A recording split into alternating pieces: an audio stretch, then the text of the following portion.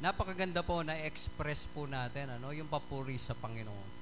Ako po ay nalulungkot minsan, ano, eh, may iba nga pong mga churches diyan kapag uh, nababanggit yung pangalan Jesus Christ, Panginoon, talagang kita niyo yung kita niyo yung response nila. Ano po? Tayo po mga Baptist, ano po, minsan i ibigay naman natin yung expression natin para sa Panginoon. Hindi naman po ibig sabihin ay kailangan maggagaganon tayo, gagaganon tayo. Hindi po kinakailangan nyo. But right within our hearts, we remember the magnificent power of God in our life. Kinakailangan po natin yon mga kapatid. Lalo na pag dumadaan tayo sa pagsubok. Po, nandyan yung Panginoon natin. Sabi kanina, deliverer. Di ba? Healer. Sino na hindi nagkakasakit? Lahat po tayo dumadaan dyan. Amen? Pero siya ang ating healer. Sino sa atin ang namumroblema, yung walang solusyon na makita sa buhay, nandiyan siya, deliverer natin siya. Napakaganda po na ma-realize how God would work in our life. Amen?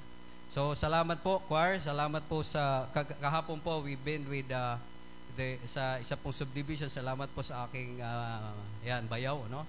Na nag-organize po dyan sa party po ng Kalamba. Yung, uh, we, we were there yesterday as they celebrate yung nga po yung Women's Month. Ano po, sa mga kababaihan, ano po, may decree po ang ang bansa natin, ang gobyerno natin. Every March 8, Tandaan po natin ano, sa mga kababayan, dineclare po ito na Women's Day.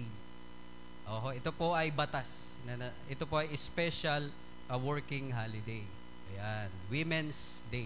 Kaya kapag naglalaba po kayo, pinaglalaba kayo ng mister nyo, pag March 8, sabihin nyo, oy, ikaw naman maglaba. Araw ko ngayon. Ayan. Ano po? Uh, tandaan nyo yan, March 8, makakalibre kayo sa paglaba. Sigurado yan. Aha. Okay, today, uh, we will be continuing, ano po, the, the that the uh, series lesson po na pinag-aaralan natin, okay, about the insights in the Church of Corinth. Okay, tayo po ay tatayo at babasahin po natin ang ating pong pag-aaralan at banal na salita ng Diyos. 1 Corinthians chapter 4 verse 1 and 2. 1 Corinthians chapter 4 verse 1 and 2. Babasahin po natin ito ng sabay-sabay. Lahat po tayo magbabasa 1 Corinthians chapter 4 verse 1 and 2. Nandiyan na po ba kayo? Say amen. Sahin po natin 1 Corinthians 4, 1 and 2. Sabay-sabay po tayo. Ready? Begin. Let a man so account of us as the ministers of Christ and stewards of the mysteries of God. Moreover, it is required in stewards that a man be found faithful. Tayo po ay manalangin sa gabing uh, Panginoon sa umagang ito. Nagpapasalamat muli kami Panginoon sa grace niyo po sa amin. Salamat po sa buhay Panginoon. Salamat po sa lakas Panginoon. Salamat po sa biyaya na binibigay niyo po sa amin maging sa mga nakalipas na mga araw. Salamat po sa walang Humpay, Panginoon, na pagmamahal niyo po sa amin. Tinataas po namin ang inyong makapangyari ang pangalan.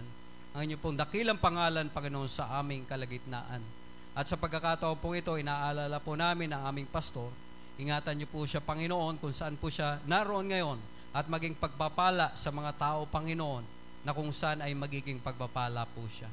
Ingatan po siya, Panginoon, maging dalangin po ang kalakasan para sa Kanya, manumbalik po ang lakas niya, Panginoon, at muli makasama po namin sa mga regular po naming pagtitipon. Maging mamaya, Panginoon, ingatan niyo po siya sa kanya pong paglalakbay pagdating po rito. Salamat, Panginoon, muli sa pagkakataong ito.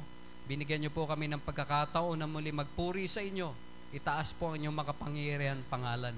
At sa pamamagitan po ng iyong banal na salita sa umaga pong ito, ay may mga pag-aaral po kami muli at mga mensahe, Panginoon, na muli, Panginoon, na aalamin po namin sa inyong biyaya at sa gabay ng banal na Espiritu. O Holy Spirit, sa pagkakataon pong ito, hinihiling po namin muli ang inyo pong power, Panginoon. Ang inyo pong lakas. Ang inyo pong biyaya, Panginoon. At pangungusap sa puso ng bawat isa po sa amin. May mga kaibigan po kami ngayon. May mga kasama po kami ngayon. Kapatiran, Panginoon, dumadating sa pagsubok sa buhay.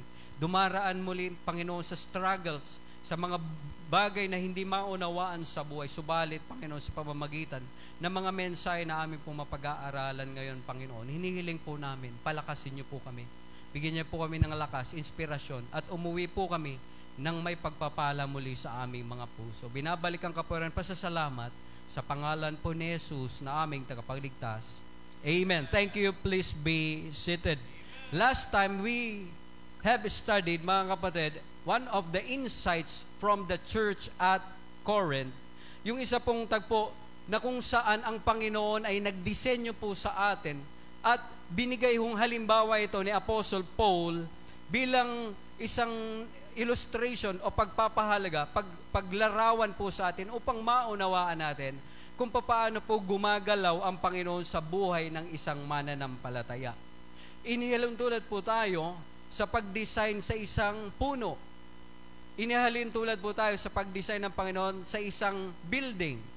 At hindi lamang po yun, hinalin tayo, hinalin tayo ng Panginoon sa pag-design ano po, sa isang templo. Doon po natin naunawaan, mga kapatid, na ang Panginoon mismo ang gumalaw okay, at gumagawa upa sa disenyong yaon. Subalit meron ho tayong tinatawag na parte sa buhay natin kung paano ho natin magiging makabuluhan yung pagkakadesenyo sa ating buhay. So last time po, one of the insights that we have learned is this. Sabi po rito, your life is God's gift to you. The best of life you could make of yourself, ayan, sorry po, kulang ng self, ano, is your gift to God. Nakuha po natin. Amen. Ah, ulitin po natin, ano? yung buhay mo ay biyaya at regalo ng Diyos sa'yo. Naniniwala po ba kayo doon? Amen. Mm. Now, kung paano mo gagawin yung best ng buhay mo, ito ay magiging regalo mo sa Diyos. Kung paano mo mailalapit yung sarili mo, magiging makabuluhan sa harapan ng Diyos. Magiging kagamit-gamit sa harapan ng Diyos. Maraming mga tao ang magiging uh, magiging pagpapala ka para sa kanila. Yan ay regalo mo sa Panginoon. Yung oras na binigay sa iyo ng Diyos, yung pagkakataon na binigay sa iyo ng Diyos, yung impluensya na binigay sa iyo ng Diyos, yung oportunidad na mabuhay ka sa mundong ito at maayos ito sa harapan niya, ito ay, tandaan po natin, regalo mo sa Diyos. Amen. And sa pagkakataon pong ito, sa ating binasa, papaano naman natin, ano po, magi, ma, magagawa yung bagay na ninanais ng Diyos sa ating buhay. Papaano natin maa-accomplish yung ine-expect ng Diyos sa ating buhay. And this time, let me share to you the topic and message, what we call church stewardship. Church stewardship. Pag, pag uh, kakatiwala ng Panginoon sa kanyang simbahan. Now, church stewardship, as we may define, mga kapatid, is a privilege to prove to God, okay, that He is worthy of our what? Truthfulness, long-suffering, submission, and goodness. Bakit po ito isang pribileyo, mga kapatid? Kasi, kung tutuusin, ano po, dahil po sa harapan natin sa Panginoon dahil sa kasalanan na mayroon ng tao. Dahil sa sa ang isang tao po ay napariwara sa harapan ng Diyos dahil sa susumpa ng kasalanan. Kung tutuusin po, wala nang pakialaman Diyos sa atin. Kung tutuusin.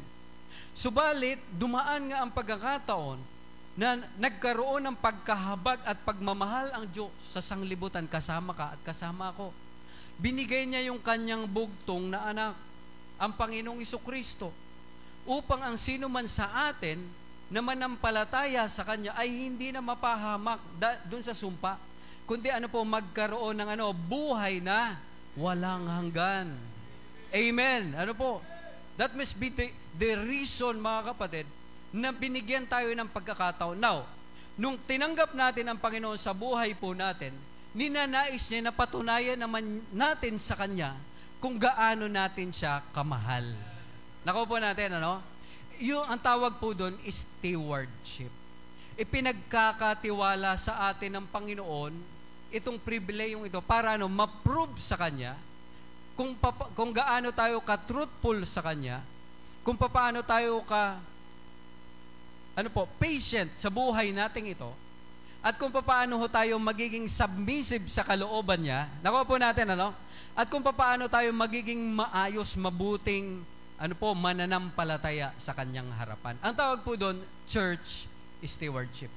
Okay. Ang mga tao po na nabautismo na ay ni, ano po, tumanggap sa Panginoon at nabautismo, sila po ay binubuo ng Panginoon sa pamamagitan ng isang simbahan. That's why, yung individual po na nanampalataya sa Panginoon na nabautismoan, ano po, ito po yung tinatawag na church. Okay? Now, yung individual pong yan ay binibigyan ng pagkakataon na ano po, maging truthful sa harapan ng Panginoon. Maging mapagpasensya sa harapan ng Panginoon. Maging submi- submissive po sa Kanya. Now, I'd like to share with you, kung nandyan pa po kayo, and say amen, okay, four important privilege or ma- manifestation, mga kapatid, ng isang mature na steward. Ayan. Pag tinawag pong steward ay katiwala. Tama po ba? Amen. No. Apat na napakahalaga ano po, na manifestation base po sa sinulat ni Apostle Pablo na nais niyang ipaabot sa mga taga-Korinto at sa atin sa pagkakataon mo ito.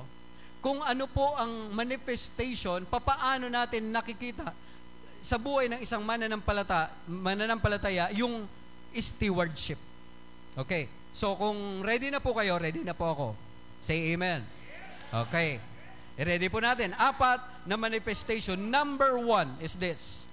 Stewardship is manifested, number one, in our faithfulness.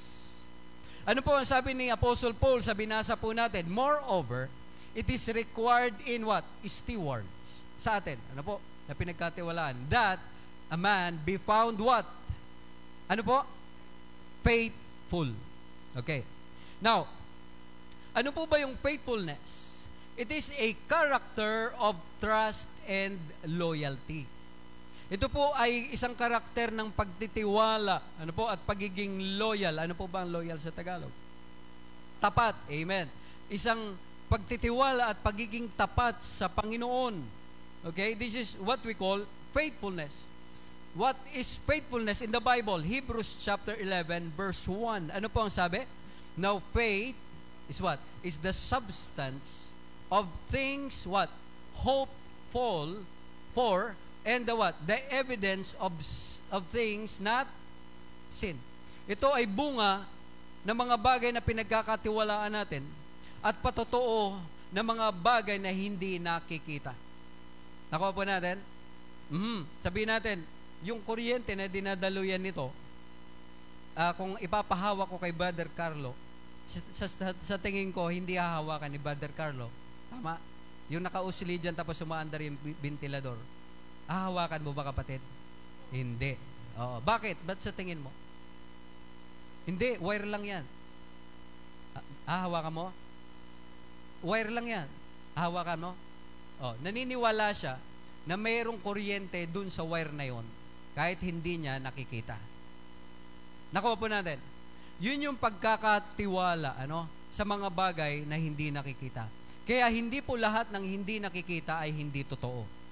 Nakuha po natin. Kasi ang Diyos hindi naman nakikita, kaya hindi ako naniniwala sa Kanya. Eh kung yung kuryente na napapaniwalaan natin, mas lalo nating paniwalaan yung Diyos na lumikha ng langit, ng lupa, at ng mga bagay na hanggang ngayon natutuklasan na napakarami palang mga planeta dyan sa kaitaasan na hindi mabilang, hindi malaman kung saan nanggagaling at hindi nalaman kung papaano nabuo. Diyos lang ang nakakaalam. Diyos lang ang may kakayanan. Mga kapatid, if we, would just re, imagine ano po, the power, the, the greatness of God, malalaman po natin na karapat dapat siyang purihin sa ating buhay.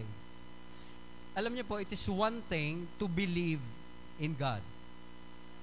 But it is another thing to be faithful to God. Marami po mga tao naniwala sa Diyos. Subalit bibihira po ang tao na nagiging tapat sa paglilingkod sa Diyos. Marami po mga tao na alam nila merong lumikha ng langit at ng lupa.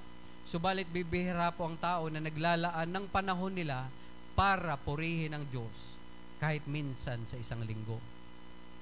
Bakit po? Yan po ay pagpupuri. Ang tinatawag po dyan ay faithfulness. Meron pong isang kwento ng isang pamilya. Ano po? The Harms uh, story. Family.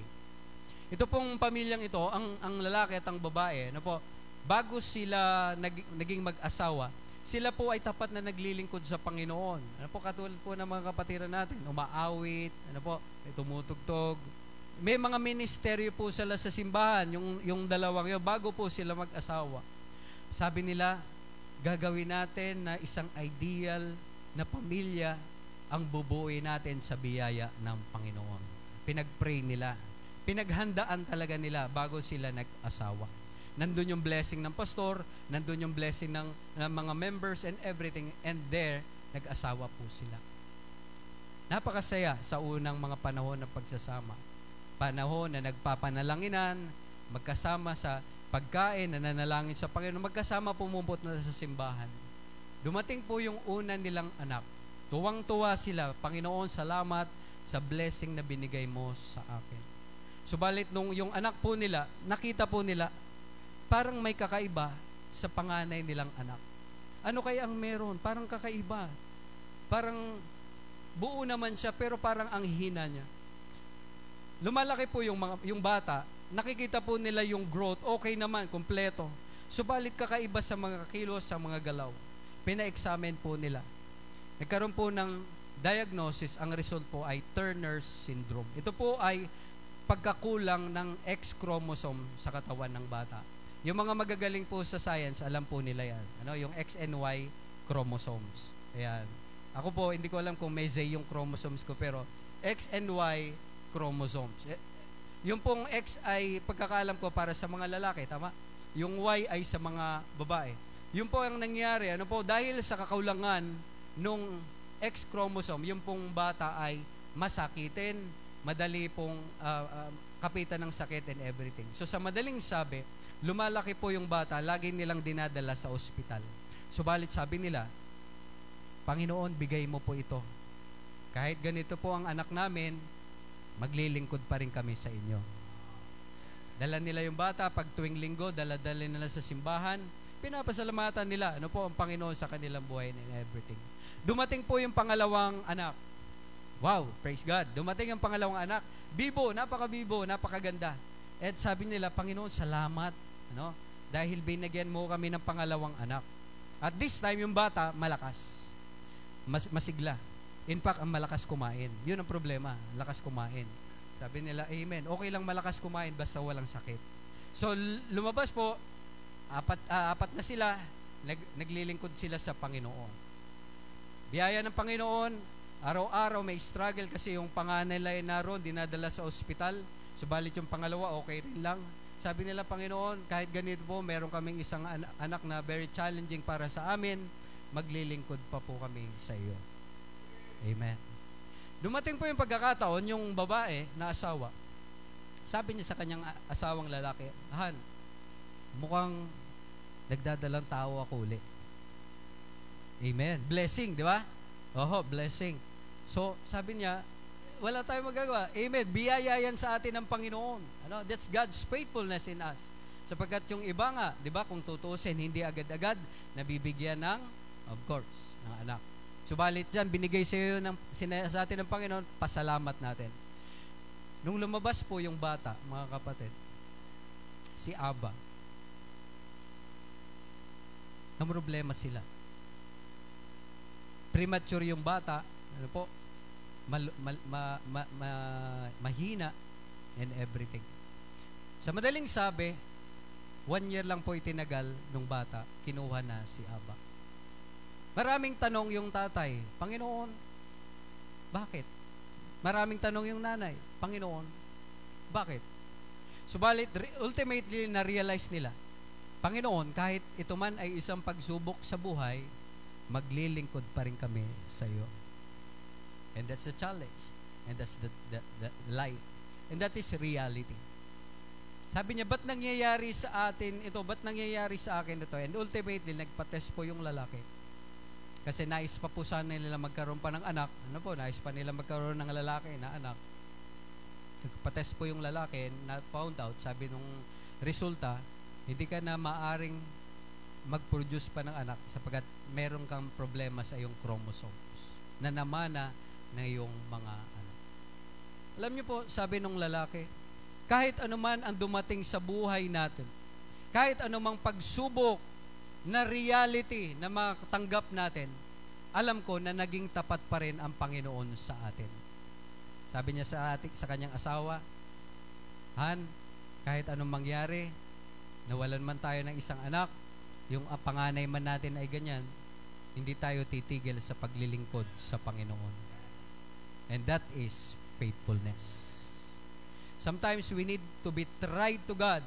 Ipakita po natin sa Panginoon ano po, ang, kat- ang katapatan sa Diyos hindi lang nasusukat kung may blessing po tayo.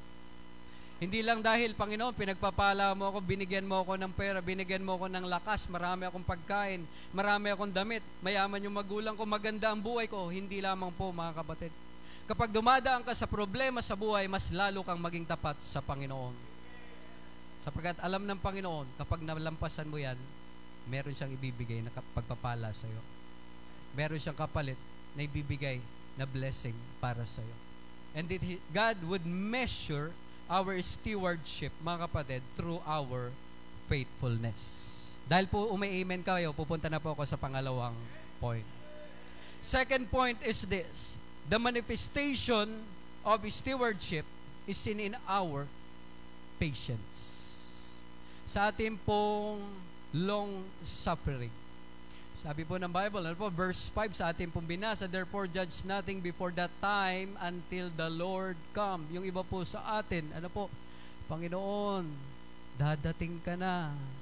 Pero Panginoon, ano ba talaga plano mo sa akin? Ayan, ano po, nais mo ba ako talagang uh, maging ganito? Panginoon, wala pa rin po akong mahanap, ano, na nakapartner sa buhay. Mga ganyan. Pero alam nyo, kung talagang kalooban ng Panginoon, darating at darating yan. Huwag po kayong mag-alala. Ayan. Okay po ba?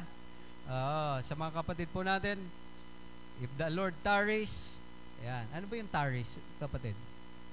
Dumating. Pag dumating, pag dumating ang Panginoon na uh, hindi na fulfill yan, be happy sapagkat kalooban ng Panginoon sa iyo. Ano po? Now, Be patient. Ito po ay panukat, mga kapatid, ano po, ng ating katapatan sa Panginoon. What is patience? It is an attitude that is able to wait, mga kapatid, or endure discomfort without complaining. Oho, yan ang patience. Panginoon naman eh. Ba't ang tagal-tagal naman eh? Ay, hindi patience yan. Nagre-reklamo tayo eh, di ba? Without complaining. Amen.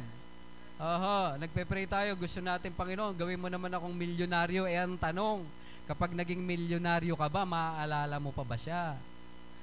Baka naman pag araw ng linggo, imbis na nasa church ka, nandun, nasa ibang bansa ka na. Kaya, minsan, ano, dumadaan tayo sa pagsubok para malaman natin, mapalapit tayo sa Panginoon. Okay. Without discomfort, ano po, uh, endure discomfort or without complaint. Now, dalawang, tatlong klase po ang patience, mga kapatid. Okay? Kasi yung pang-apat, pag hindi natin naunawan, magiging patient, pasyente tayo. Ano? Tatlo lang muna. Una, patience when we face nuisance or when when we meet a person that is ano po very ano sa atin ano sting ang dating sa atin or set, set of circumstances that really irritates us. Ayan, yun po yung unang type ng patience na hinuhubog sa atin. Kapag ka naka-encounter ho tayo ng tao na nakaka-irita sa atin. Namit natin ganon. Tapos talagang talagang gusto na nating sumabog ano kasi dahil tapos naisip natin hmm, patience patience Di? Minsan may nasabi sa atin, gusto na nating mag-react. Oh, patience. Yun po yung ibig sabihin. No? Nako po natin, ano? Yun yung unang type ng patience. May pangalawang pangalawang type po niya na maaari nating ma-exercise yung patience. Pangalawa yung when we face boredom. Yung nabobore ka na sa buhay mo at hindi mo makuha yung nais mo na pinagpe-pray, ano? Ano po sabi, those who who fall into a rut or at work or at home uh, after oh, that open experience discomfort over the what? An eventful routine. Uh, yung routinary na lang yung na, na, nangyayari sa atin. At meron tayong gustong mangyari pero hindi nangyayari. Ayan nabobore po tayo minsan. At minsan ayan nasusubok ang ating patience. Nakuha po natin ano? Oho uh, yung mga pinapanalangin dyan na hindi nga masagot-sagot ano po minsan mabobore tayo Panginoon kailan naman ba talaga no? so that's where our patience is being what? Ayan, tested. Pangatlo, ayan po, when one suffers in some way, either physically or psychologically. Ayan, yung meron pong nararamdaman, ano, physically na uh, ninanais ng Panginoon maging mapagpasensya tayo, ano po, sa buhay natin. Hmm, lalo na po sa mga kapatid natin, nagkakaedad tayo, hindi na po matatago na yung minsan yung mga arthritis natin ay eh, sumusumpong ano? O, kaya minsan baka na nawawala na tayo sa uh, faith natin sa Panginoon. Panginoon ano ba naman tong arthritis ko naman naman?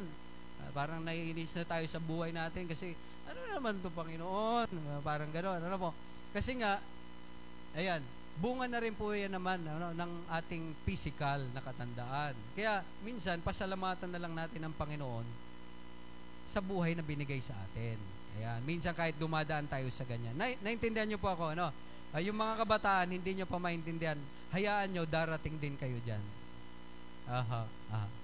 Ayan. Nararamdaman ko na rin yan actually. Ano po? Yung mga ganyang mga karamdaman. No? Minsan nasakit-sakit yung tuhod, nasakit-sakit yung mga balakang. Ano? Ayan po ay uh, parte ng buhay. Opo. Opo. Amen. So, Those are manifestation of the page, mga pag uh, susubok sa atin ng pasensya ng Panginoon. Nakuha po natin. Amen.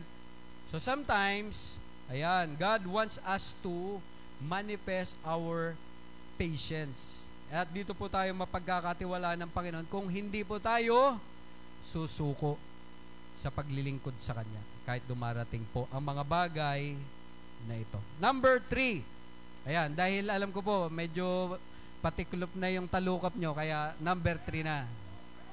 Aha, ayan.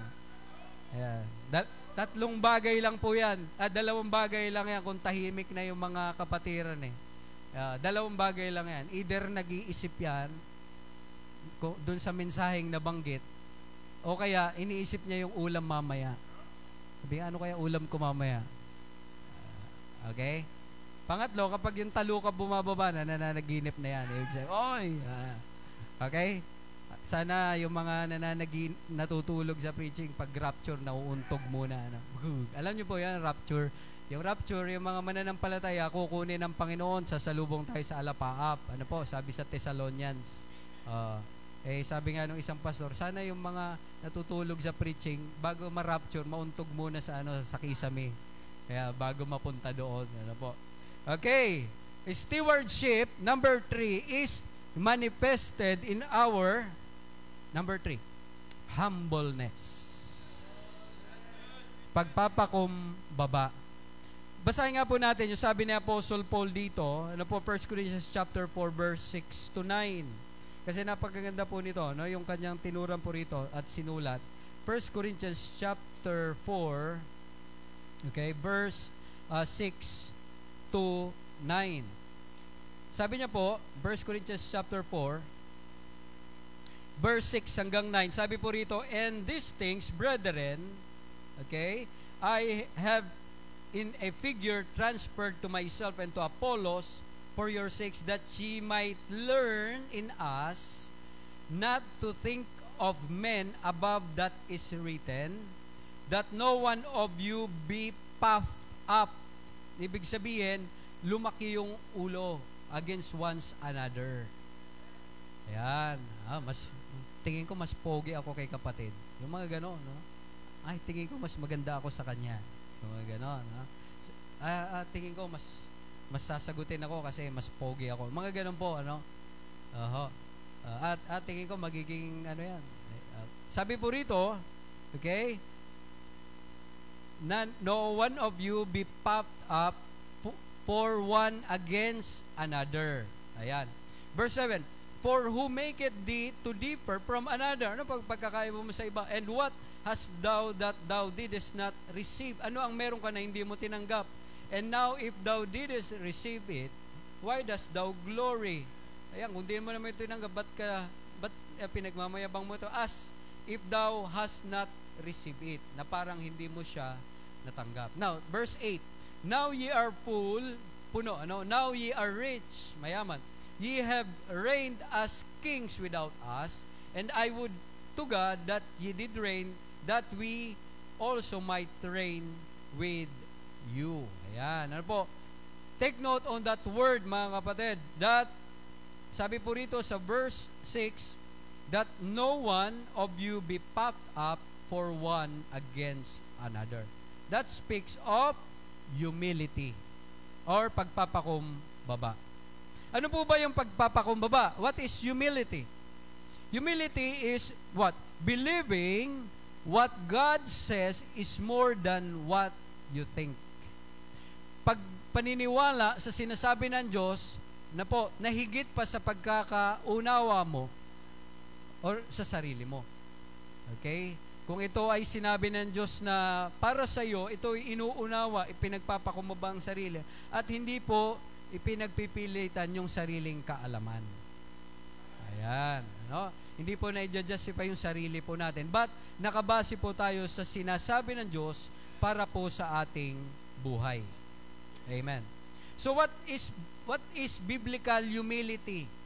Ayan. Pero bago po natin aralin, tingnan po natin ano yung hindi humility. Kasi alam natin, karamihan, yung iba sa atin, uh, alam na, pag humility, ganito yan. Pero aralin naman natin, ano yung hindi humility? Okay? Uh, kasi maganda malaman natin the other side. Eh. Ano po? Number one,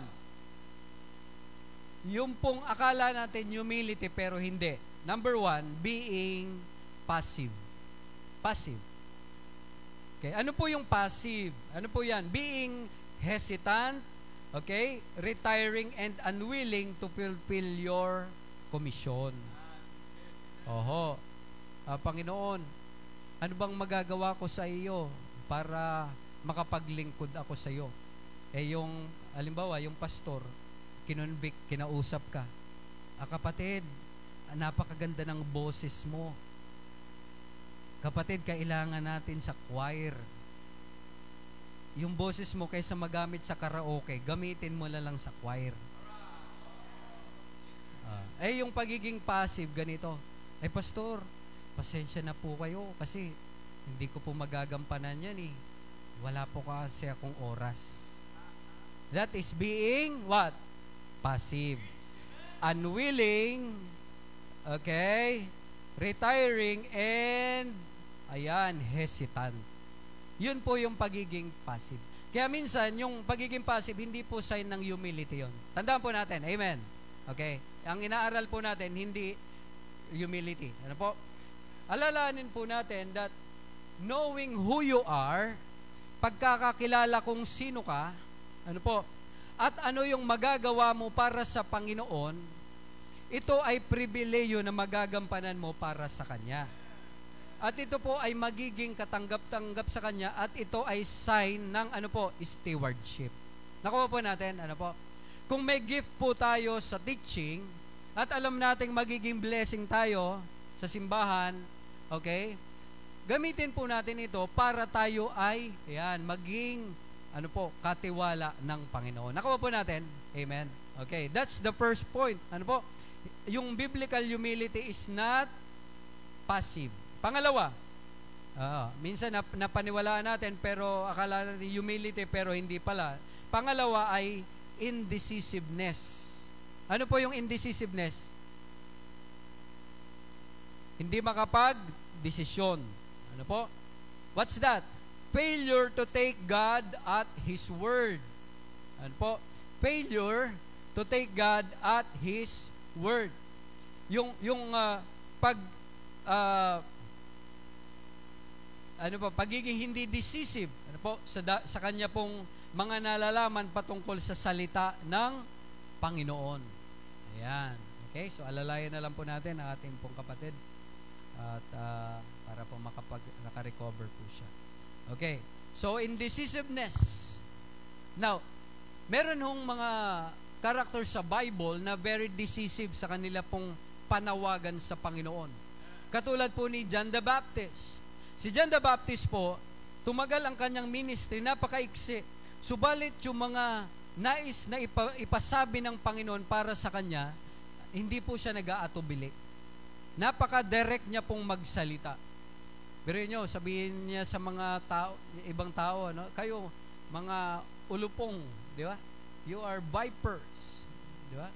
At uh, talagang tinuran niya na makasalanan kayo. In fact, yung, di ba, yung uh, si Herodias, yung, uh, ano doon, yung, kaya siya pinapugutan ng ulo eh.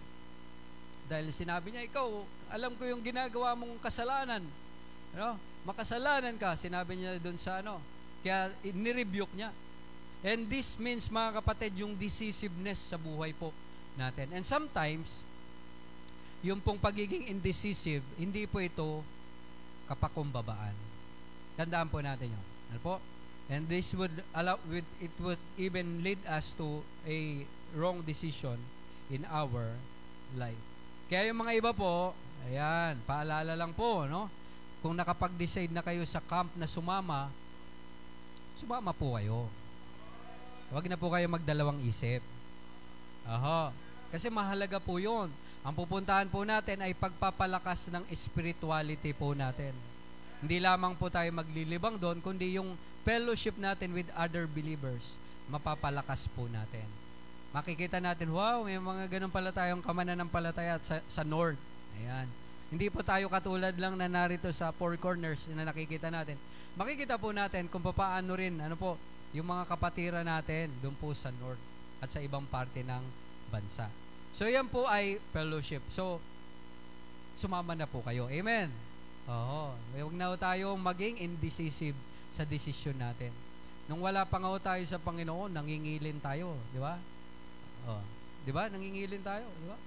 Pupunta kayo sa isang lugar, titignan yung yung uh, ano tawag doon, bisita. Hmm.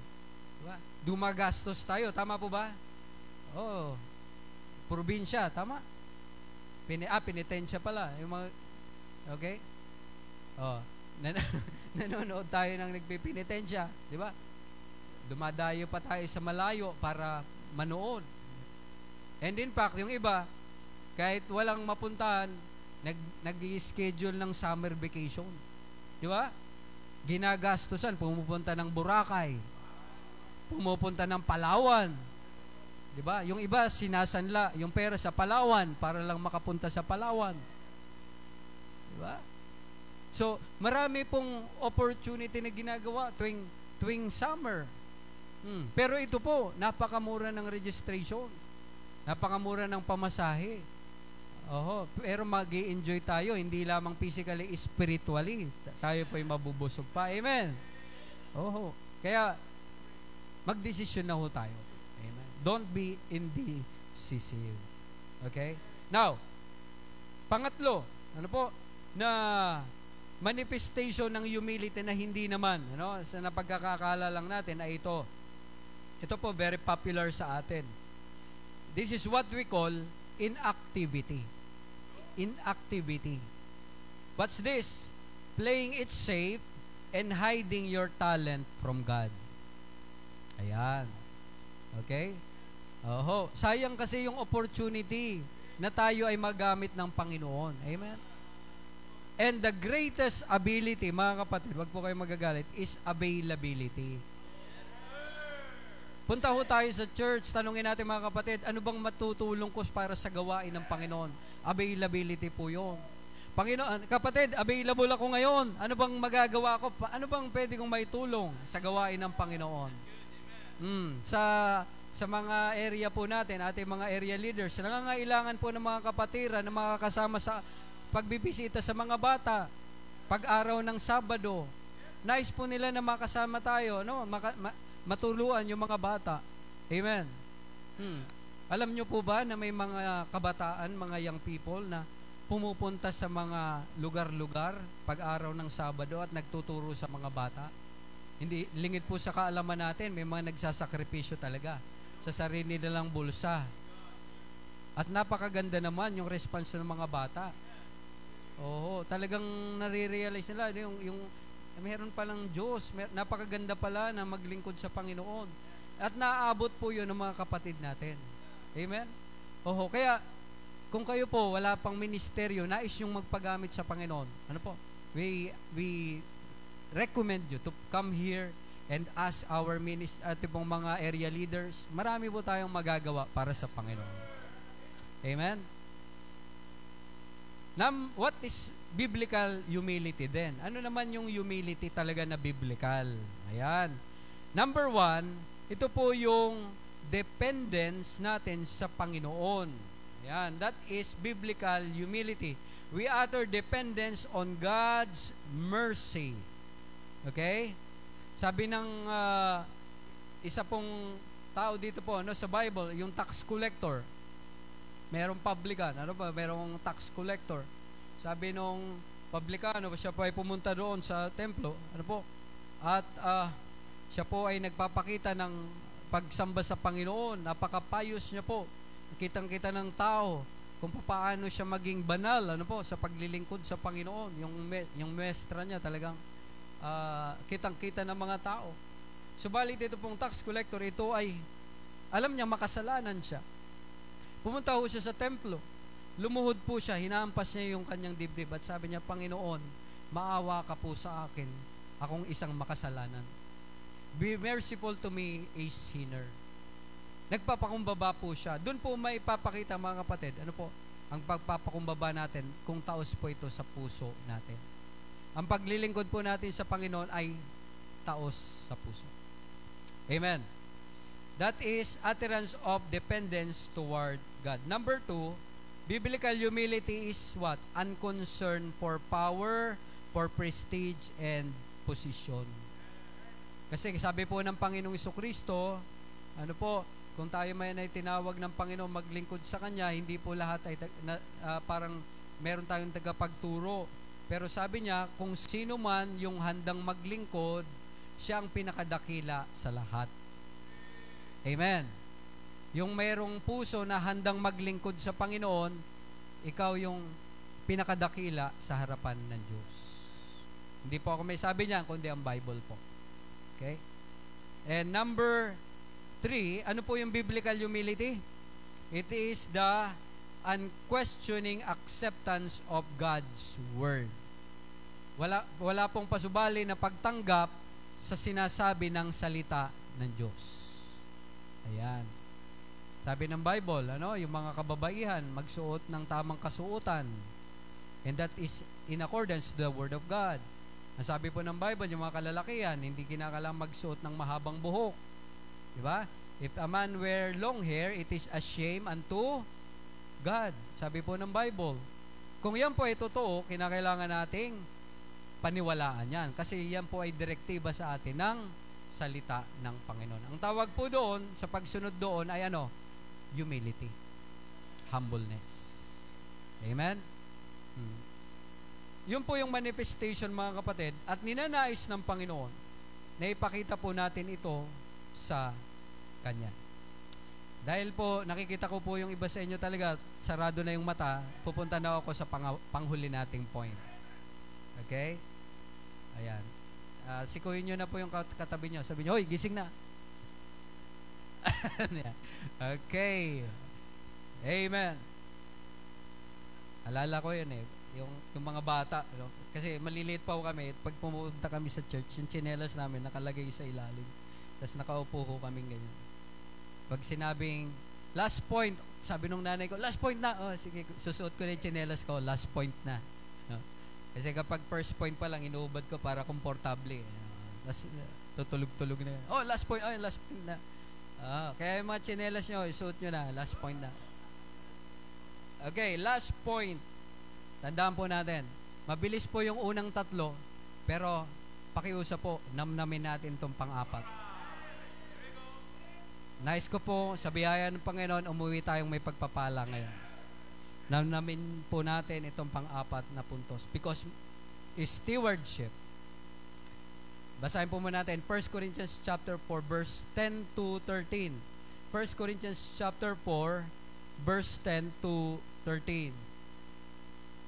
1 Corinthians chapter 4, ayan, verse 10 to 13. We are fools for Christ's sake, but ye are wise in Christ. We are, uh, we are weak, but ye are strong. Ye are honorable, but we are despised. Even unto this present hour, we both hunger and thirst, and are naked, and are buffeted, and have no certain dwelling place. Wala akong matira, no? And labor, working with our own hands, being reviled, we bless. Being persecuted, we suffer it. Being defamed, we entreat. We are made as the filth of the world and are the offscoring of all things unto this day. Makita po natin, dumating man sa kanilang buhay yung persecution, mga kapatid, nagpapatuloy pa rin silang maging ma- maayos sa paningin ng maraming tao. Yan po yung manifestation ng isang Kristiyano, mananampalataya na binago ng Panginoon. And the last manifestation of stewardship is this. It is manifested lastly in our kindness. Sa ating pong kabaitan. Sabi ng iba, yung mga mababait, kinukuha agad ni Lord. Sabi nila yon. Pero ang totoo, humahaba ang buhay. Amen. 1 Corinthians chapter 4 verse 10. Ano po? In our kindness. Sometimes, mga kapatid, ano po? And most of the time, let us realize this. Pumupunta ho tayo sa church, nananalangin ho tayo, okay? For God to, to make something good in us. Tama po ba? And for God to make us good. To make us uh, something that is wor- worthwhile sa harapan ng maraming tao. Wala pong pumupunta sa simbahan na nanalangin na gawin siyang masama. Meron po ba? May nalangin, nanalangin po ba rito? Panginoon, gawin mo nga akong masama. Meron po?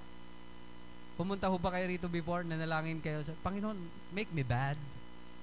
Meron mo ba ganon? Kaya nga tayo pumupunta rito para gawin tayong good ng Panginoon. Tama po ba? Amen. At gusto natin yung makuha natin, that, that is really something good, lahat para sa atin. For our profit, for our good. Tama po yan, mga kapatid. And remember this, because we have prayed for this, God will answer it. Naniniwala po kayo? Amen. God will answer what we pray. But number one, if you will pray that God would make you a loving person, kung ikaw ay nananalangin na Panginoon, bigawin mo pa akong isang tao ng papagmahal, remember this, you will suffer sometimes struggle in your relationship. Para ano? Para pag dumating yung time na yon, may exercise mo yung pagmamahal. Nakuha po natin? Panginoon, tulungan mo naman akong mapagmahal. Eh, nung inaway ka nung katabi mo, ah, inaway mo lalo. Na-exercise mo ba yung pagmamahal? Di ba hindi? That's why, nag-pray ka, Panginoon, gawin mo naman akong taong mapagmahal. Expect something would happen in your relationship so that God would so that you would prove to God how loving you are. Nako ba natin? Sometimes nagpe-pray tayo, Panginoon, gawin mo naman akong isang masayahing tao. Di ba? Panginoon, gawin mo akong masaya sa buhay kristyano. Tama po ba? May nananalangin ng ganyan, di ba? Ayaw nating sabihin, Panginoon, gawin mo nga akong malungkot lagi. Meron po bang ganyan? Nanalangin tayo, Panginoon, palungkutin mo naman ako sa araw na ito. Imposible po yon. Walang ganong panalangin. Tama? Mm. Now, remember this. If you pray that God would give you that joy in your heart, sometimes you will experience grief in your life.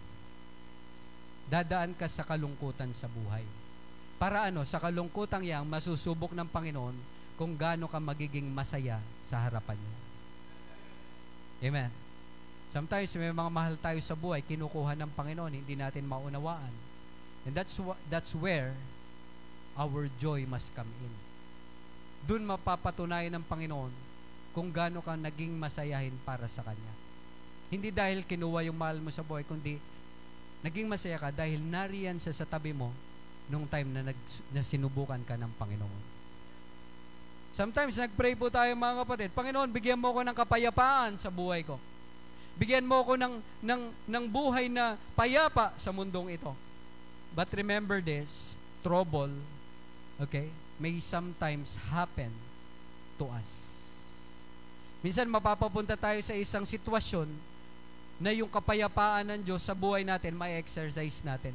Lalo na kung gipitang confrontation ang dumating sa buhay natin. Nakuha po natin, sa trabaho, sa pag-aaral, sa labas, habang nagda-drive ka, may makakausap ka, mainit ang ulo, di ba? Tumatawid ka, may nasigawa, minura ka, and everything.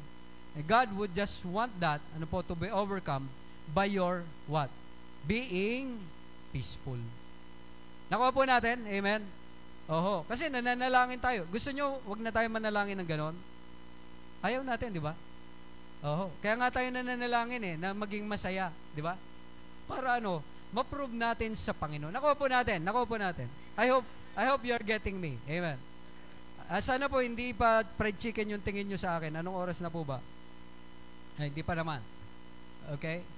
Now, nananalangin tayo ng ano, Panginoon, bigyan mo ako ng patience. Okay?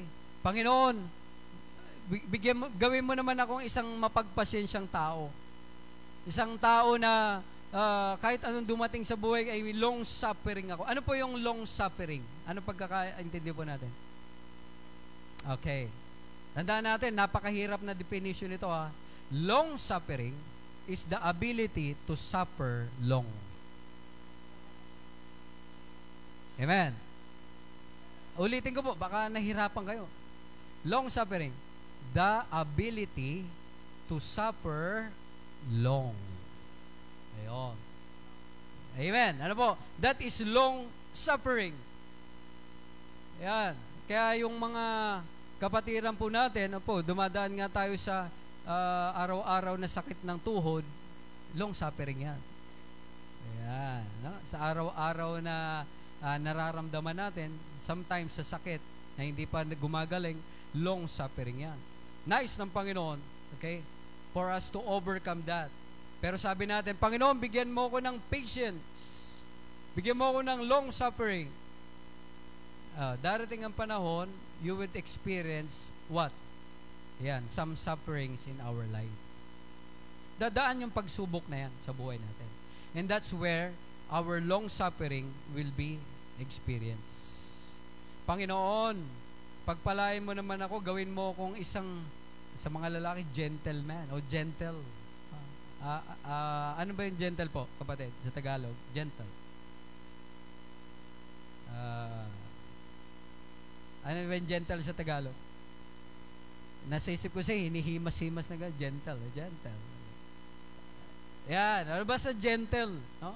Panginoon, gawin mo akong gentle. Maginoo, di ba? Sa lalaki. Maginoa sa lala, babae, no? Ma- maging ano po, gentle. Pero sa, eh, marupok daw, ano? Maging marupok. Hindi naman ano pwede 'yon, no? Tayo ay maging gentle sa harapan ng Panginoon. Ayan. Pero remember this. You want to be gentle? Remember this. Sometimes you will encounter a bitter person. Ayaw mo sa hindi. Makaka-encounter ka ng bitter na tao.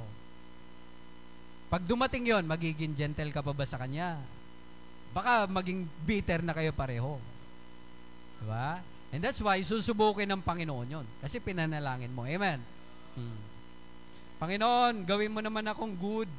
Gawin mo akong maayos, mabuting tao, no? Make me good, Lord. Hmm. Nalanalangin tayo lagi niyan, di ba? And sometimes, bad situation would happen to you.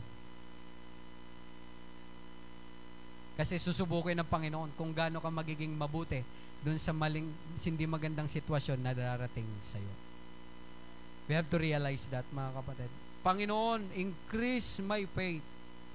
Pataasin mo pa ang pananampalataya ko sa inyo. Panginoon, gawin mo pa akong isang tao na may malakas na pananampalataya sa inyo. But, there are times that, okay, situations would come to you and would you would tend to doubt your faith. Yan. Kasi ang opposite ng faith ay doubt. Ano yung doubt? Okay, yung doubt, yung kapag uh, sumasakit na yung dito mo, doubt yun eh. Tama ba? Ah, gout pala yun.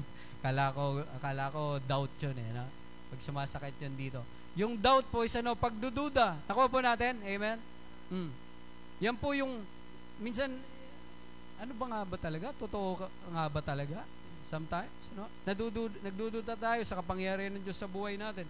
But, ayan, when we pray that God would increase our faith, sometimes daraan po yan, para ano? Masubukan po ng Panginoon. Tignan ko nga kung gaano kat katatagang pananampalataya nito. Remember, yung 12 disciple, no? Sumakay lang sila sa sa bangka. Pagsakay nila sa bangka, dumaan, sabi ng Panginoon, padaanin ko nga itong bagyong to. Titignan ko nga ang pananampalataya ng mga ito. Tapos si Jesus Christ natutulog doon sa ilalim, ano, ng uh, safe, ano, place doon sa bangka. Sabi niya, tignan ko nga itong mga to. Maya-maya, nandyan na yung bagyo. Ayan na, palakas na ng palakas. Yung mga disipulo, naglalayag, binababa na yung layag, no? At kung ano-ano nang ginagawa, palubog na ng palubog yung barko. Ano sabi nung isa sa disipulo? Panginoon, tulungan mo kami. Sinisigawan na si Christ, ano? Tapos, Panginoon, nalulunod na kami. Tulungan mo kami. Yan. Hanggang sa halos nawawala na yung faith nila sa Panginoon. Ano sabi ng Panginoon? Ano? Napaka ganda na illustration ng Panginoon. Cool na cool siya eh. Bumagyo yun ha, bumabagyo. Sabi niya, pakahina naman ang faith nyo. Pakahina naman ang pananampalataya nyo. Tapos sabi niya sa bagyo, Hoy, tigil. Yun, biglang tumigil yung bagyo. Tapos nakatingin siya sa disipulo niya. Yung mga disipulo nakangas sa kanya. Sabi niya, you of little faith. Napakahina ng pananampalataya. Yung iba po sa atin, sinipon lang. Hindi na pumunta sa church. Pakahina ng pananampalataya natin. Oh, yung iba sa atin, nagkaroon lang ng struggle sa bahay. Nag-away lang kayo mag-asawa. Hindi na ako mag-church. Oh, dahil lang sa away nyo, pati Panginoon, dinamay nyo. Amen. Uh, yung mga bata, ba? Karoon lang ng bumagsak lang sa sa school. Sabi, eh, Panginoon, hindi nyo ako tinulungan sa exam ko, hindi na ako mag-attend dyan. Diba? Nasaan yung pananampalataya natin? Amen. Subalit, alam nyo mga kapatid, ano po, napakaganda, maunawaan po natin, ang faith natin ay na-exercise natin. Okay, kapag ka ang mga bagyo sa buhay ay dumaraan sa atin. Diyan po mapapakita ang pananampalataya natin sa Panginoon. Panginoon, gawin mo kong maamo. Gawin mo kong mix sa harapan ng mga tao. Ayan, sometimes somebody will provoke you to for you, ano po, to show your meekness in the sight of God. Panginoon, gawin mo kung uh, mapagpasensya. Okay? And God would give you that test of endurance. Yung mga bagay na yan, pinanalangin po natin for, for us to be good in the sight of God. And these situations na pinapakita po sa atin ng Panginoon, ah, tandaan po natin, this will make us mature in our Christian life. Hindi naman po uh, siguro maganda na nung nagpray tayo ay hindi nasubukan ng Panginoon kung gaano katotoo yung binigay sa atin. Binigyan tayo ng love, joy, peace, long suffering, meekness, temperance, faith, and everything, goodness. Pero nais ng Panginoon, masubok ang mga bagay na yan at maging magaling tayong katiwala ng Panginoon sa mga bagay na yan. That's why, dumarating yung unos sa buhay natin, we exercise that, and there is where the approval of God would be upon you. Pupunta ang approval ng Panginoon. Approve ka sa akin, anak, nalampasan mo ang mga bagay na yan. Approve ka sa akin, anak, dahil dumaan ka man sa pagsubok, naging matapat ka pa rin sa akin. Approve ka sa akin, anak, kasi kahit wala kang pera, naglilingkod ka sa akin. Approve ka sa akin, anak, kasi alam ko, dumadaan ka sa napakatinding problema ng buhay, subalit narito ka, naglilingkod ka sa akin. That is approval in the sight of God. Mga kapatid, four important manifestation of God's stewardship in our life as stewards of God. I pray that each of one, each and every one of us, mga kapatid, would prove, number one, our faithfulness. Pangalawa, ang ating patience sa Panginoon. Pangatlo, ang ating pong humility sa harapan ng Panginoon. At pangapat, ang ating pong kabaitan, kindness in the sight of God. And may the Lord bless the words that we have received. Tayo po'y mananalangin, tayo po'y tatayo. Mananalangin po tayo sa harapan ng Panginoon. And try to ponder on these things. Are, am I a good steward of God? Ako ba ay isang mabuting katiwala ng Panginoon? Ako ba ay matapat sa Kanya? Ako ba ay mapagpasensya? Ako ba ay mapagpakumbaba sa Kanya? Ako ba ay nagiging mabuti sa harapan ng Panginoon? Bago tayo dumating sa invitation, let me pray for each and every one of us. Panginoon, as we have pondered on these things, there are things, Lord, that would allow us to realize what stewardship, Panginoon, is all about. Sometimes we pray for good things, and yet bad things would happen to us. And we know the reason, Lord, that is to prove you of your stewardship for us. Panginoon, may this invitation once again allow us to realize to be good stewards and to be a good church steward, Panginoon, on your side. Habang lahat po ay nakayuko, nakapikit, at tumutugtog po ang awiting paanyaya, sa mga kaibigan po natin, ano po, na nakasama po natin sa mga nakalipas na araw, mari po kayong sumama muli sa kanila. At sa mga bago po nating kaibigan ngayon, bisita, lalapitan po kayo ng mga kapatiran po natin at ibabahagi po sa inyo kasama po ang panalangin, ano po, para po sa inyo. Napakaganda po na ang Panginoon ay makilala natin sa ating buhay at sa pamamagitan po nito, maituwid po natin ang pananampalataya natin sa Kanya. For our brethren, sa mga kapatiran po natin na narito po, matanong ko po kayo, how how faithful steward are you in the sight of God? Gaano ka ba katapat na mananampalataya nakatiwala ng Diyos? Papaano mo ba pinapatunayan sa Panginoon ang iyong pagiging katiwala sa Kanya? So at this point in time, I'd like us to realize, mga kapatid, that this is a privilege for each and every one of us. Being a good steward is a privilege. Prove the sincerity of our love, our faithfulness, our patience, our humility, our kindness in the sight of God. If you want to surrender your life to God and say, Lord, make me a good steward, Panginoon, gawin mo po akong isang mabuting katiwala. Let, let, let me invite you to come to in front and and talk to God. Kneel to the Lord.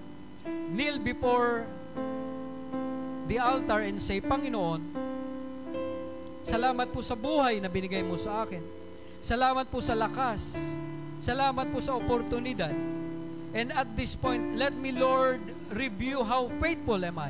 How patient am I? How humble am I? How kind am I, Panginoon? But with these shortcomings that I have realized, Panginoon, make me a good steward. Panginoon, gawin mo akong isang mabuting katiwala. Panalangin ko po. Is that your desire?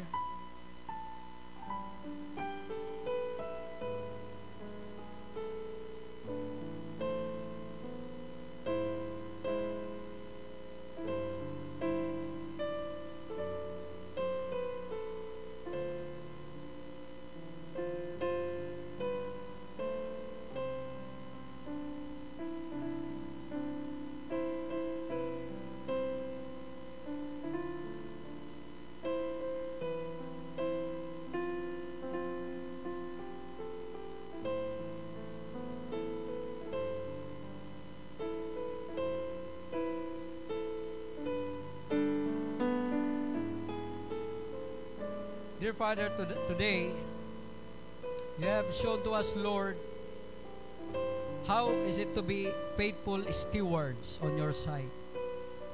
Panginoon, there are times that we it seems we we lack faithfulness on your side, Panginoon.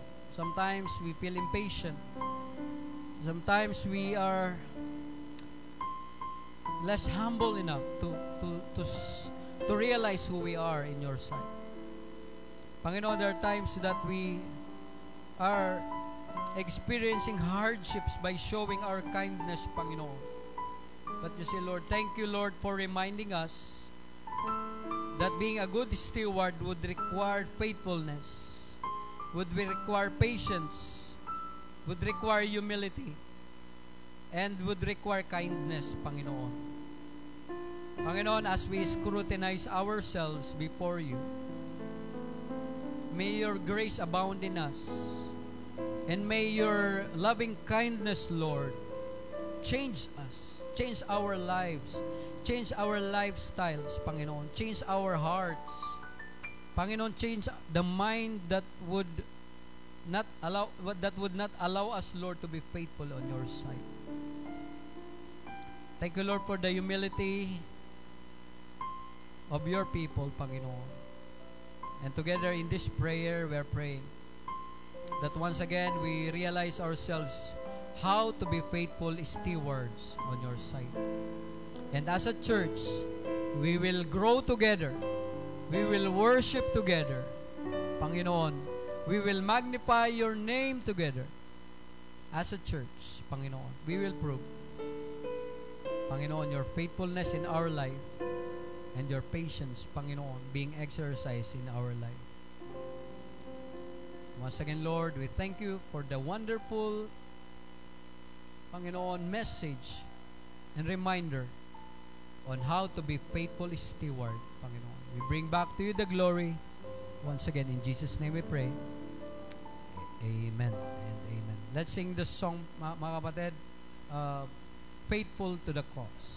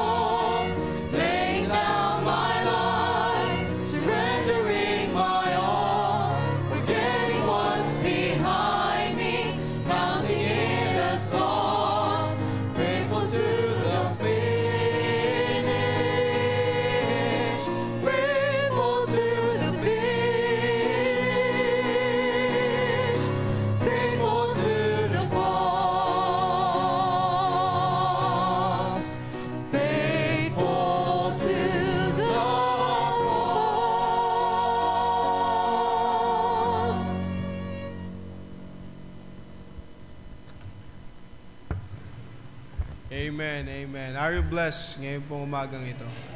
Amen. Tayo po magpipray for our offering. Let's call our action. Diyan na po pala. Sige po, tayo po manalangin. Nakilang Diyos, salamat po sa salita po ninyo na nahiyag at nakapakinggan po namin. Thank you for the principles of your word na hindi po nagbabago at tunay po na kailangan pa rin namin sa aming panahon po ngayon.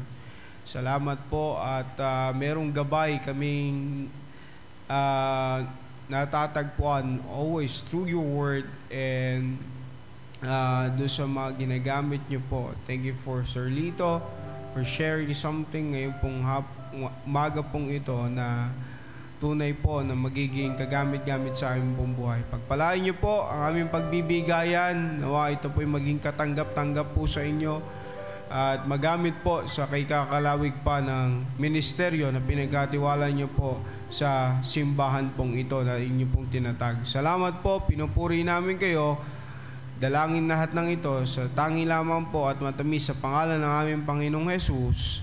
Amen, amen. God bless you as you give ngayon pong umaga pong ito.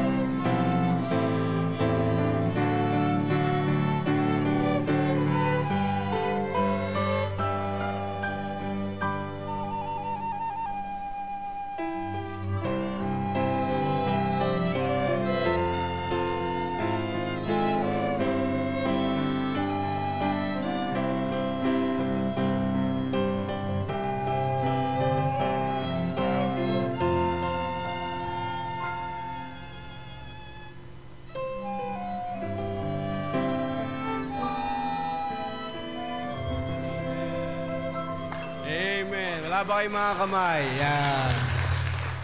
Amen. What a great, great Sunday morning service. Salamat sa Panginoon. Alright? Be back mamaya pong hapon at uh, we will have a great time with our pastor po. Tayo po'y manalangin ngayon po umaga ito. Dakilang Diyos, muli pinupuri namin at binabalik lahat ng kalwalatian sa inyo pangalan. Itinataas po kayo at kayo lamang o Diyos. Salamat po sa uh, matagumpay na gawain na amin pong tunghayan ngayon pong umaga pong ito. Thank you for the man again that you have used. Bless his life, his ministry, and also our pastor na hindi man namin po siya kasama ngayon pong umaga but we believe that uh, ginamit siya siyang dakila sa lugar po ng pagbilaw. Pagpalain niyo po ang mga tao po doon, lalo as they celebrate their, their anniversary. And we praise you and we thank you for everything you've done for us. Bless uh, the offering, magamit po ito sa ministry, and bless, bless each and every one of us as we go home, uh, tempor- pansamantala o Diyos, ingatan niyo po ang bawat isa, ihatid ng matiwasay sa kanya-kanyang tahanan. At mamaya po, kung loobin ninyo, ibalik niyo po dito na may kagalakan. And for those that mag stay ay magkaroon po kami ng uh, great lunch and uh, fellowships among our brethren ngayon pong oras na ito. Salamat po, pinupuri namin kayo. All this we ask. In Jesus' name we pray. All the people say, Amen, Amen. We're dismissed. Wait for the ushers po para maayos po tayo. No? Wait for the ushers para po maayos yung pagkakalabas po natin. Yun po. God bless you. Have a great lunch ngayon po. Oras na